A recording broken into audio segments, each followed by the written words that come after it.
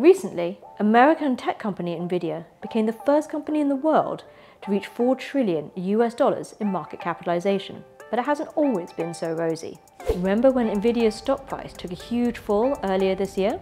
It happened right around the time Chinese startup DeepSeek released their answer to ChatGPT. DeepSeek claimed to have trained its large language model on 6 million US dollars. That's about a tenth of what US companies were spending. And this shocked the tech industry, especially amidst a global AI race where China was seen to be in a distant second place to the US. Uh, these concerns arose because uh, the, the, the thinking was that people may not need these extremely sophisticated high-end GPUs to perform, uh, uh, to do AI. Pushing the envelope in any area of innovation, especially cloud computing and edge computing, they're still going to require the best state-of-the-art GPUs to do that. NVIDIA's stock did recover after a few days. The company is, after all, not only in the business of making AI chips for large language models.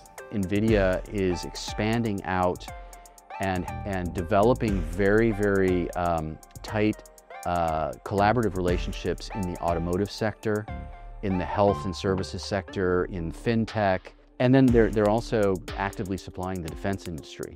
And remember this year's NVIDIA GPU Technology Conference? Physical AI, or AI applied in automation and robotics, was a highlight at the conference in March.